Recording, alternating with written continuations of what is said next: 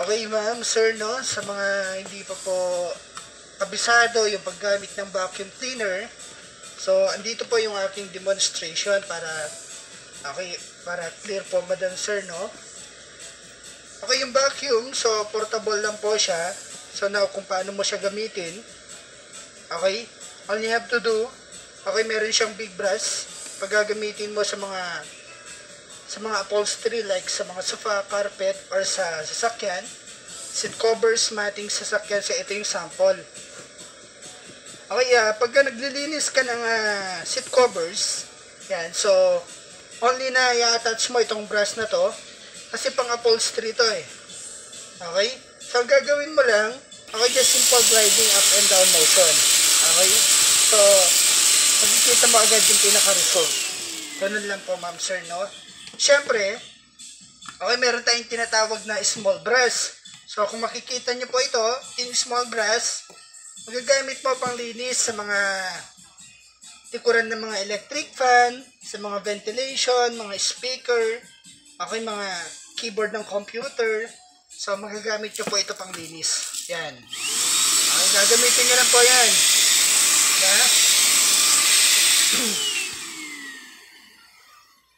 Tapos ma'am sir, okay magagamit mo sa mga gilid, sa mga corner. Ano po no? Ano po yung gagamitin niyo pang linis? Pang gilid, gilid, pang corner, corner. Siyempre ma'am sir no, meron din siyang pinaka-flexible hose. Yan ma'am sir no, yung pinaka-flexible hose ng vacuum. Okay sa mga hard to reach area. Okay like sa mga ilalim ng mga upuan ng sasakyan, sa mga carpet, sa mga sofa, Okay, sa mga drawer, cabinet, divider, ito yung gagamitin nyo po pang linis. Yan. Now, optional po yung pinakadulo nito. So, pwede po kayong mag-attach ng big brush or small brush. Small brush, I should say. Yan. Pag sa mga sa malalayo na po, like sa mga screen window, screen doors, sa mga sliding window, na pag may aso ka po, Madam Sir, yan, may pusa, meron tayong tinatawag na pet brush. Ito yung pet brush. Ang proper grooming, pang massage, panghigop ng mga kuto, ng aso, mga falling hair. Yan yung gagamitin mo lang. Now, okay, pag marami nang nahigop yung vacuum cleaner, yan, so, pipindutin mo lang to para sa cleaning maintenance niya. Pindutin mo lang to, makikita mo na angat po yan. So, may iulay na sa pinaka-motor ng vacuum. Now, ang gagawin mo lang, ma'am, Okay, hilain mo lang yung filter. So, pag hinila mo yung filter, makikita mo na yung kalat. Now, yung filter po ito, ma'am, sir. Okay, washable, reusable po ito. Gagawin mo lang, pag lilinisin mo, either na ipapagpag mo or po-blower mo. Yan. Pwede mong laban po yan. Kaso, kailangan mong uh, patuyuin. Now, yung vacuum, mapapansin mo, ganito, ganito kanina yung pinaka, ano niya, pinaka, itsura niya pag gagamitin mo yung pinaka-blower niya, so, i-attach mo lang sa likod. So, kailangan mong tanggalin to para makalakas yung buga ng vacuum dito sa likuran niya. So, pag-attach ng blower, yan, okay, ito-twist mo lang siya, counterclockwise. Yan. Pag tinis mo, yan, maglalak na po yan. Yan. Okay? So, ito yung blower niya na po. Magiging counterclockwise. So, yung blower niya, Nagagamit mo to pang linis sa mga filter ng aircon, sa mga motorized appliances, sa mga motor electric fan, sa mga motorized niya po. Okay, pag nagwashing ka ng sasakyan mo, ito yung gagamitin mo pang blow dry. Yan, para yung mga tubig na nasa mga corner ng mga windshield, okay na hindi mo napupunas, kasi pag natuyo yun, kakaroon ng watermarks, ito yung gagamitin mo pang blow dry. Yan.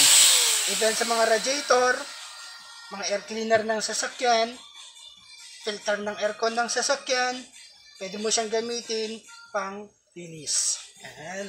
Na, even sa mga motor ng mga electric fan, kasi lalo na sa mga electric fan, okay, pag maalikabok kasi motor ng electric fan, pag ginamit mo yan, okay, hirap yan umikot. Pag hirap umikot yung mga motorized appliances, mas mataas yung consumption niya ng kuryente. Okay? So, ang gagawin mo, Madam Sir, para hindi mag-overheat, so gagamitan mo ng blower para matanggal po yung alikabok. Tapos, maganda pa dito sa vacuum, okay, optional po yan. Pwede mong i-detach to. Pag gagamitin nyo pang linis sa mga CPU ng computer, keyboard ng computer. Okay, siyempre, pag gagamitin mo pang inflate ng airbed, inflatable na swimming pool, okay, lalagay mo lang to. Sa mga airbed, inflatable na swimming pool. So, pag dinidetach mo yan, twist mo lang yan, clockwise, yan, gaganyan mo lang siya ulit, yan. So, pag naglagay ka, okay po, yan, ganyan lang po. Meron siyang pinaka, ano po dito, mapapansin mo. Yan, now, pag naglagay ka ng ganito, okay, hindi pwede yung uunahin mo sa taas. Kailangan, uunahin mo sa baba. Ayan.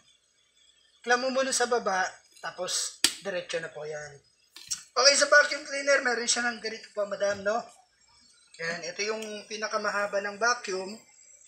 Okay, mapapansin mo yan. Siyempre, pag i-attach mo to, kailangan dito sa pinaka-suction hole niya. Okay, always yung flat nasa ibabaw po niya. Ayan, pag pinasok mo, diretso na po yun. Diba? Pag gagamitin mo sa flooring, ganun po yung itsura. Pero pag gagamitin mo sa sa, sa ceiling, okay, de-detach mo lang ito. Ayan, nade-detach naman po yan. Siyempre, yung vacuum cleaner, okay, pagdating sa ano niya, problem niya po, madam, sir, no? Pag yung vacuum niyo po, ginagamit niyo po siya, tapos hindi na po makahigop, okay, ang problem po doon, okay, yung filter niya. Kasi pag puno na yung ng alikabok yung filter niya po, sir, ma'am, okay, mahihirapan na yun humigop. So, ang gagawin nyo lang, meron siyang pinaka-blower. Ayun lang naman yung vacuum cleaner, yung problem niya pagka hindi na makahigop ng alikabok, ibig sabihin, yung filter niya, puno na ng alikabok. Yan. Thank you po sa panonood niyo po, ma'am.